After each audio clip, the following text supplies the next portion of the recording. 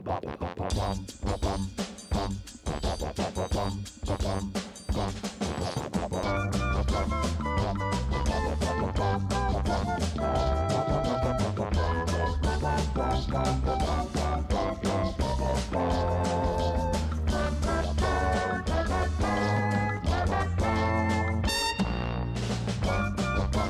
problem that most people have when they're trying to buy their first hi-fi system is they think that they need to spend a whole bunch of money to get good sound and features.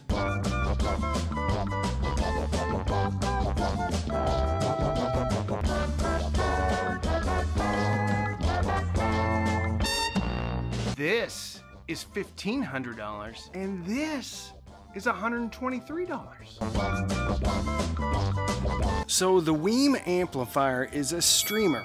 It's a DAC, and don't worry if you don't know what this stuff means, we're gonna come back to it later.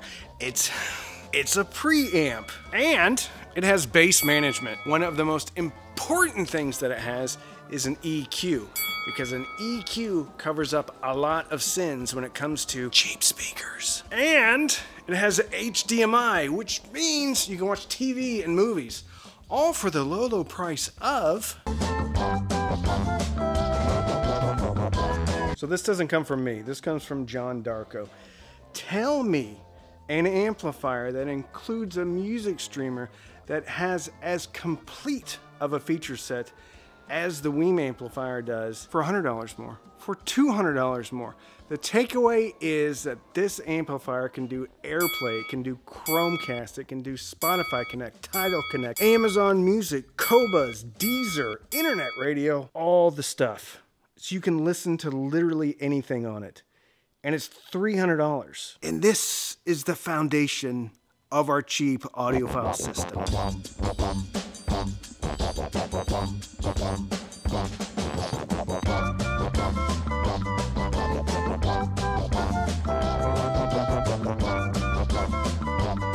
Ah, the Sony's probably my favorite speaker of all time. Does it sound the best?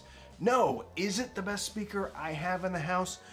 No, but it is probably the highest value when it comes to speakers. Now, you can get this speaker for around $123 fairly often. The price does fluctuate between about $100 occasionally, $123 and then up to about $180. But don't buy it unless it's $123 and a lot of times you can get crazy deals on Amazon warehouse for less than $123. The speaker is a two and a half way. It has three drivers, but one of those drivers is a super tweeter. Now, some people will say that this speaker isn't perfect when it comes to the frequency response.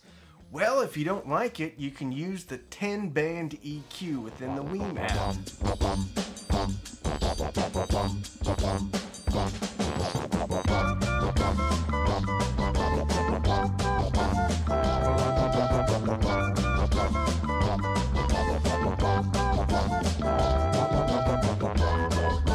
So if it's too spicy on top, you can bring down the treble. Not enough bass, bring up a 125 hertz and it's gonna go boom boom. Point about these speakers is that I believe personally that this is the best value speaker in hi-fi.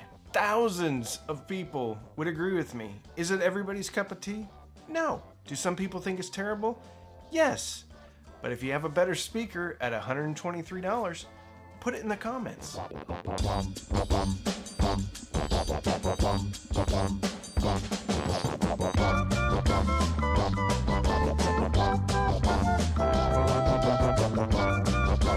I briefly talked about it before, but bass management is where this amplifier shines. Actually more capable than most amps, costing double, triple, four times the cost.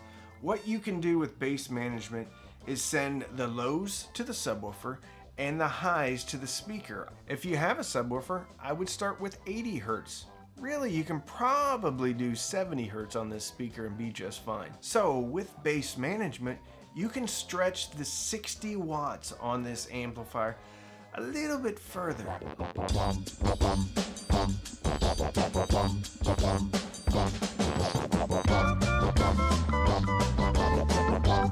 Amp is rated at 60 watts into 8 ohms, 120 watts into 4 ohms. Now, it has the Texas Instruments 3255 amp chip inside. And in my opinion, and this is going to be a reoccurring theme, it is the best value in hi-fi. It sounds very natural. The WiiM amp has an internal power supply, so you don't have to worry about those cumbersome power bricks. And maybe this amp doesn't have all the current in the world. Maybe it can't power every speaker in the world, but it's $300. And our expectations should be somewhat reasonable. You can also do whole home audio with this device. You can buy a whole bunch of these, but you know what? You'd be better off just buying a whole bunch of WiiM amps and some Sony speakers. Think about this for a moment. All in this package is $423. You gotta buy speaker cables, I get that. You gotta pay tax, I get that too. Let's call it 500. For $1,500, you can have three systems throughout your house, all playing the same music at the same time. So when you walk out of your bedroom into the kitchen, to make a pot of coffee and eat a plate of cinnamon rolls for breakfast, the same song is playing at the same time. And if you're anything like me, you don't want to interrupt the Heretic Anthem by Slipknot when you're walking from your bedroom into the kitchen.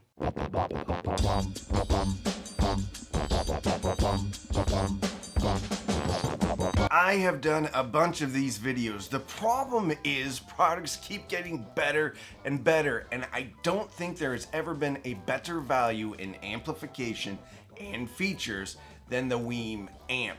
Again, if you know of something, put it down in the comments. The Sony SSCS5 always comes back because it checks the most boxes when it comes to an affordable speaker and it sounds incredible and it's exciting.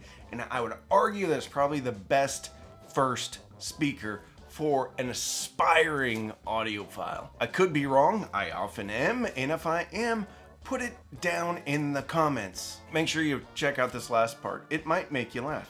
It might not. Listen, I don't want to have this conversation again. I got a ton of work to do. Why? I tell you the same thing over and over again. Of course, I like spending time with you. It's not my fault you can't be in the living room. You have a glass front.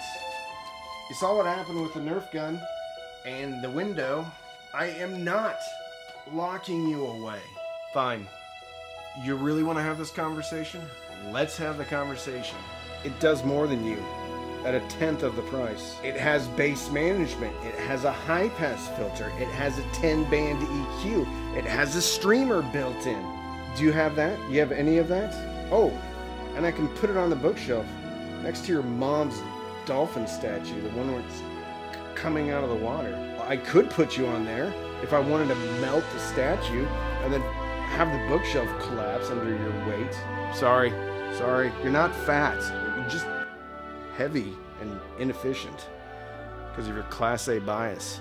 Why are you even talking like this? I've made like seven videos about you. I want to spend more time with you, but it's more convenient.